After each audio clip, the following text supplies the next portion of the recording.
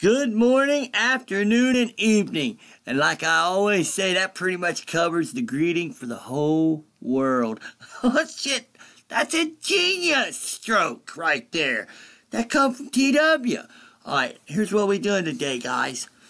I was thinking about guitar players because, you know, I'm kind of a master on the instrument. I got some chops. I got chops. Shit. But anyway, we're going to do a Watch Mojo video of like the top 10 band guitarist. So, without further ado, wait, wait, wait, wait. Look, oh shit! I just seen it in the where where I come to you from the sandy beaches of Timbuktu, Egypt. Look, I was brought here to go out with the Pharaoh's daughter. Oh shit! But anyway, without further ado, let's do it. Oh shit! Watch Mojo. Oh shit! I love it! Music would not have been the same if these guys had never picked up a guitar. Welcome to WatchMojo.com, and today we're counting Page. down our picks for the top 10 band I guitarists of all time. Number 10, Randy Rhoads.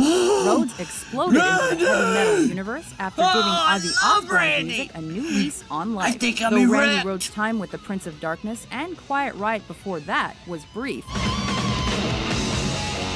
The classical guitar devotee left a legacy that is unparalleled to this day. You Despite bet he his short did. 25 year life, he'll always be remembered for his ability to make a whole lot of noise I with just a few guitars bust. and ah, special oh effects. shit! I love Randy. Look. Number 9, Brian May. While Like riff- that, hold on. That was epic. I love Randy. Alongside the energetic Freddie Mercury and Queen, Brian May created some of the greatest Ah. classic rock melodies of all time. As a true rock and roll virtuoso, Yeah, that solo right there is nice. he's also played some of the most incredible axe solos.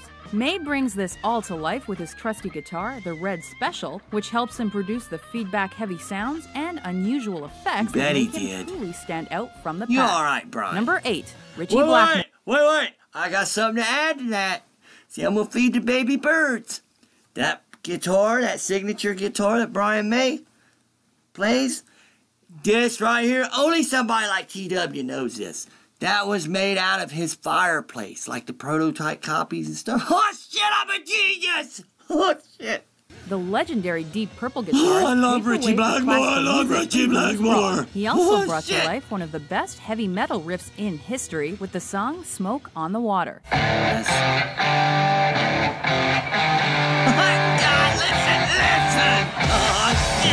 Success he found experimenting with different genres post Deep Purple merely proves that Ritchie Blackmore's talents know no bounds. Number seven, you, Tony Iommi. With his big bad riffs love- on Black what Sabbath's the fuck's debut, up with Tony? Iommi transformed heavy metal for the better. Now,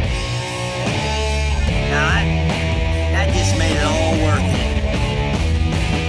This guitarist developed his trademark loud and heavy sound Oh, while playing shit! alongside talented vocalists such as Ozzy Osbourne and Ronnie James Dio. Thanks to songs like Well, Iron what Man about and Paranoid, Geezer Butler and Bill never the same. Ward? Number 6, Pete Townshend. He's almost as famous for smashing guitars as he is for playing them. Regardless, Pete Townshend quickly distinguished himself with his ah, loud and Wait, wait, wait, wait, wait, wait. I don't know if I agree with this one. This right here. Pete Townshend, maybe for showmanship, nobody better. But as far as guitar technical abilities and shit, I don't think so. He ain't all that. Maybe for songwriting too. But all right, Pete, you can pass. You in the Rock and Roll Hall of Fame. I'll let this one slide. Shit. despite his lack of formal training.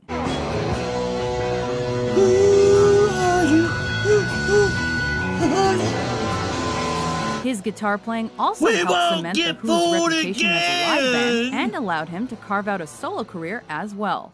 Number 5. Duane Allman. Skydog's mm. passion and ambition helped him achieve great His best success work with was the on Layla, Eric. Clapton's But it was his one-of-a-kind guitar tone, dynamic right, slide though. guitar abilities, and exceptional live improv skills that really shone through during his fleeting career. While he managed to hold his own with another guitar great, Eric Clapton, Duane Allman was taken from us too soon after a motorcycle accident ended his life at age 24. He's all right.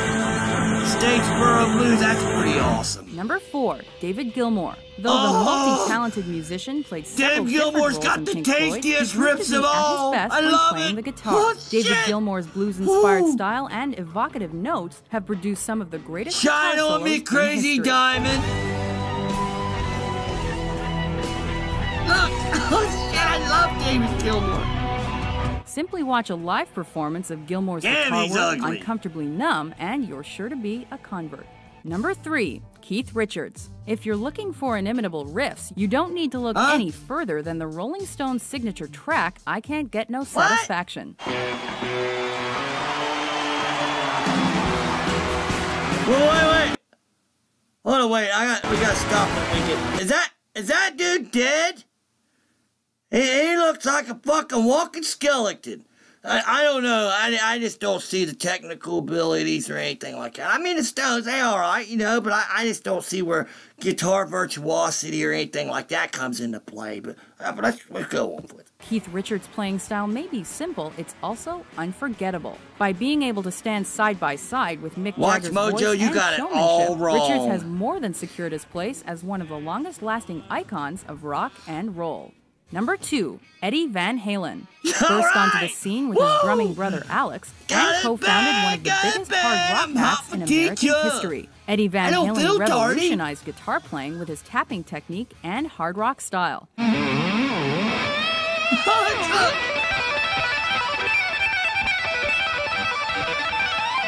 That's what I'm talking about.